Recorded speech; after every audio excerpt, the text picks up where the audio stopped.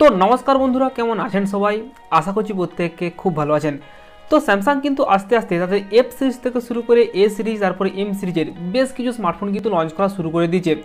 যেমন কিছুদিন আগে তারা Samsung Galaxy F twenty three তারপর Samsung Galaxy A fifty three এই সমস্ত ফোনগুলিকে লঞ্চ করেছে। তো এবার তারা তাদের এম সিরিজের বেশ কিছু স্মার্টফোন লঞ্চ করবে। যেমন Samsung Galaxy M thirty three five G তারপর Samsung Galaxy M fifty three five G এবং আজকে আমরা এই Samsung Galaxy M thirty three five G এই ফোনটাকে নিয়ে আলোচনা করব।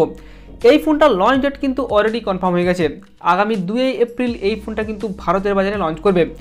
তো আজকের এই ভিডিওতে এখানে এই Samsung Galaxy M thirty three five G এই ফোনটি ওভারঅল কেমন হতে চলেছে, তারপর এই ফোনটির কত দাম হতে পারে আমাদের ভারত ও বাংলাদেশের বাজারে এবং কবে নাগাদ লঞ্চ করতে পারে, সমস্ত কিছু নিয়ে আজকে আলোচনা করব। তো সেই জন্য ভিডিওটি শুরু থেকে শেষ পর্যন্ত অবশ্যই দেখবেন। আর ভিডিও ভালো লাগলে অবশ্যই লাইক করে দেবেন এবং চ্যানেলটি সাবস্ক্রাইব করে পাশে থাকা বেল আইকনটি প্রেস করে রাখবেন। আসুন আজকের ভিডিও শুরু করি। তো প্রথমেই আমরা শুরু করব এখানে এই ফোনটার ডিসপ্লেকে দিয়ে। তো ডিসপ্লের দিক থেকে স্যামসাং কিন্তু এখানে এই ফোনটিতে বেশ অনেকটাই কম্প্রোমাইজ করেছে। এখানে এই ফোনটিতে সিক্স পয়েন্ট সিক্স ইঞ্চিসের একটি full HD plus TFT LCD display এখানে কিন্তু ব্যবহার করা হয়েছে। আর এই সময়ে দাঁড়িয়ে একটা স্মার্টফোনে টিএফটি এলসি ডিসপ্লে ব্যবহার করা হচ্ছে। তো স্যামসাংয়ের মতো একটা ব্র্যান্ডের কাছ থেকে আমরা কিন্তু এগুলো একদমই আশা করতে পারি না। এবং কিছুদিন আগে স্যামসাং, তাদের Samsung Galaxy F twenty three এই ফোনটিও লঞ্চ করেছে এবং সেখানেও কিন্তু তারা এই টিএফটি এলসি ডিসপ্লে ব্যবহার করেছে। আর এই ডিসপ্লেটা কিন্তু সেই পুরনো যুগের একটি ওয়াটার ড্রপ নচের সাথে আসবে। তো যে দামে এই ফোনটা লঞ্চ করবে, ওই দামে কিন্তু আমরা অন্যান্য স্মার্টফোন কোম্পানিগুলোর কাছ থেকে পাঁচ হোল ডিসপ্লে পেয়ে থাকি। তো এই সমস্ত ছোটোখাটো দিকগুলোতে স্যামসাংয়ের কিন্তু অবশ্যই নজর দেওয়া উচিত। এছাড়াও এখানে এই ডিসপ্লেতে একশো কুড়ি আর যে রিফ্রেশে থাকবে, তারপর আশা করা যায় এখানে ওয়াইড ভাইন এলনের সাপোর্টও দেওয়া হবে এবং এই ডিসপ্লেতে প্রোটেকশন হিসেবে এখানে কিন্তু গরিলা ক্লাস ফাইভের প্রোটেকশন থাকবে। তো ওভারঅল এই যে ডিসপ্লে স্পেসিফিকেশন এখানে কিন্তু মোটামুটি একদম ডিসেন্ট কোয়ালিটির একটা ডিসপ্লে দেওয়া হয়েছে। তো দেখা যাক এখানে ডিসপ্লে আউটপুট কতটা ভালো পাওয়া যায়। তো এরপর যদি আমরা এখানে এই ফোনটার ডিজাইন আর বিল করে নিয়ে কথা বলি, তাহলে এখানে এই ফোনটির ব্যাক সাইডে প্রতিবারের মতোই কিন্তু একটা প্লাস্টিক ব্যাক প্যানেল ব্যবহার করা হবে এবং সাইডের যে ফ্রেমটি হবে, সেখানে কিন্তু প্লাস্টিকের ফ্রেম থাকবে। আর ডিজাইনে যদি কথা বলি, তাহলে এখানে এই ফোনটির ব্যাক সাইডটা কিন্তু হুবহু Samsung Galaxy F sixty two তারপর Samsung Galaxy M thirty two এই ফোনগুলির মতো দেখতে লাগছে।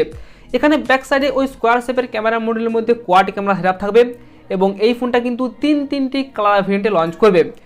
আর এই ফোনটা কিন্তু ছয় জিবি, একশো আঠাশ জিবি, তারপর আট জিবি, একশো আঠাশ জিবি, এই দুটি র্যাম ও রাম ভেরিয়েন্টে লঞ্চ করবে। তারপর এখানে LPDDR four X RAM type থাকবে এবং আশা করা হচ্ছে এখানে UFS two point one storage type এখানে ব্যবহার করা হবে। তো এরপর যদি আমরা এখানে এই ফোনটার পারফরমেন্সকে নিয়ে কথা বলি, তাহলে এখানে এই ফোনটিতে স্যামসাংয়ের নতুন ফাইভ জি প্রসেসার অর্থাৎ স্যামসাং এক্সিনোস বারোশো আশি, এই প্রসেসারটা কিন্তু ব্যবহার করা হবে। আর এই প্রসেসারটা কিন্তু পাঁচ ন্যানোমিটারে তৈরি। তো অলরেডি কিন্তু এই পোস্টারটি দিয়ে Samsung Galaxy A fifty three এই ফোনটি লঞ্চ করেছে। তো এই মুহূর্তে এই পোস্টারটা কতটা ভালো পারফর্ম করবে সেটা কিন্তু বলা যাচ্ছে না। তবে বেশ কিছুদিনের মধ্যে এই প্রসেসারটা ডে টু ডে লাইফে কতটা ভালো পারফর্ম করবে সেটা কিন্তু জানা যাবে। এবং বলা হচ্ছে এই প্রসেসারটা নাকি স্ন্যাপড্রাগনের সেভেন সেভেন্টি এইট জি এই প্রসেসারটির কাছাকাছি পারফর্ম করবে। তো এরপর যদি আমরা এখানে এই ফোনটার ক্যামেরাকে নিয়ে কথা বলি, তাহলে এখানে এই ফোনটির ব্যাক সাইডে থাকবে কোয়াড ক্যামেরা সেট এবং যার মধ্যে প্রাইমারি ক্যামেরা হলো পঞ্চাশ মেগাপিক্সেলের এবং এই প্রাইমারি ক্যামেরায় কিন্তু F one point eight aperture থাকবে। এছাড়াও এর সাথে সাথে এখানে আট মেগাপিক্সেলের একটা আল্ট্রা ওয়াইড অ্যাঙ্গেল লেন্স তারপর দুই মেগাপিক্সেল করে একটি ম্যাক্রো আর একটি ডিপ সেন্সার এখানে কিন্তু ব্যবহার করা হবে। এবং এই ফোনটির ফ্রন্ট সাইডে থাকবে তেরো মেগাপিক্সেলের সেলফি ক্যামেরা এখানে এই ফোনটির ব্যাক সাইডের ক্যামেরা দিয়ে আপনারা ওই ফোর পর্যন্ত ভিডিও রেকর্ডিং করতে পারবেন। এবং ফ্রন্ট সাইডের ক্যামেরা দিয়ে আপ টু হাজার আশিবি পর্যন্ত ভিডিও রেকর্ডিং করতে পারবেন। আর স্যামসাংয়ের এম সিরিজের ফোনেও কিন্তু আমরা ক্যামেরা আউটপুট ভালো পেয়ে থাকি। তো এরপর দেখা যাক এখানে কতটা ভালো ক্যামেরা আউটপুট পাওয়া যায়। তো এরপর যদি আমরা এখানে এই ফোনটার ব্যাটারি সেমেন্ট দেখি, তাহলে এখানে এই ফোনটিতে ছ হাজার এমএএচের একটা বড় ব্যাটারি এখানে কিন্তু ব্যবহার করা হবে। এবং এই ফোনটা কিন্তু পঁচিশ ওয়াটের ফাস্ট চার্জিং সাপোর্ট করবে। তবে এখানেও এই ফোনটিতে বক্সের মধ্যে কোনো রকম চার্জার কিন্তু থাকবে না। তো আমার মনে হয় স্যামসাং কিন্তু এই জায়গাটায় সবথেকে বড় একটা খারাপ কাজ করছে। তো স্যামসাংয়ের মিড বাজারের ফোনে অন্ততপক্ষে বক্সের মধ্যে অবশ্যই কিন্তু চার্জার দেওয়া উচিত। এছাড়াও এখানে এই ফোনটিতে সফটওয়্যার হিসেবে এখানে স্যামসাংয়ের ওয়ান ইউআই ফোর পয়েন্ট ওয়ানের অপটিমেশন থাকবে। তার উপর এই ফোনটা কিন্তু রান করবে অ্যান্ড্রয়েড টুয়েলভের উপর। এবং এখানে স্যামসাংয়ের যে নক সিকিউরিটি সেটাও কিন্তু এখানে এই ফোনটিতে দেওয়া হবে। আর যেহেতু এই ফোনটা একটা ফাইভ জি স্মার্টফোন হবে, সেই জন্য বলা হচ্ছে এখানে এই ফোনটিতে নাকি দশটির ওপরে ফাইভ জি ব্যান্ডের সাপোর্ট দেওয়া হবে।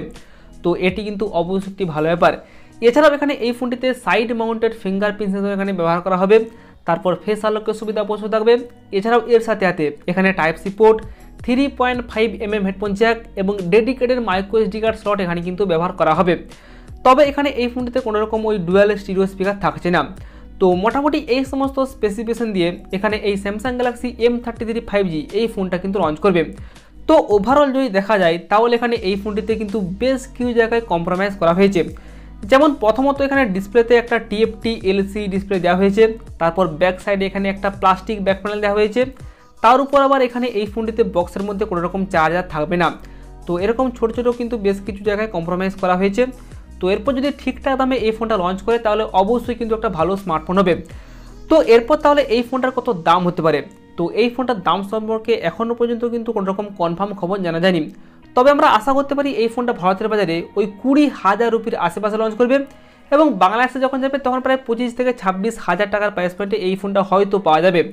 তো এরপর তাহলে বাংলাদেশের বাজারে এই ফোনটা কবে নাগাদ লঞ্চ করতে পারে? তো আগামী দুই এপ্রিল এই ফোনটা কিন্তু ভারতের বাজারে লঞ্চ করছে এবং আমরা আশা করতে পারি তার বেশ কিছুদিনের মধ্যে বাংলাদেশের বাজারে এই ফোনটা আনঅফিসিয়ালি পাওয়া যাবে। এবং এপ্রিল মাসের শেষের দিকে কিংবা মে মাস নাগাদ এই ফোনটা কিন্তু বাংলাদেশের বাজারে অফিসিয়ালভাবে অবশ্যই লঞ্চ করে যাবে। তো এরপর দেখা যাক Samsung Galaxy M thirty three five G এই ফোনটা আমাদের ভারত বাংলাদেশের বাজারে কত দামে লঞ্চ করে? তো এরপর এই ফোনটি সম্পর্কে আপনার কি মতামত?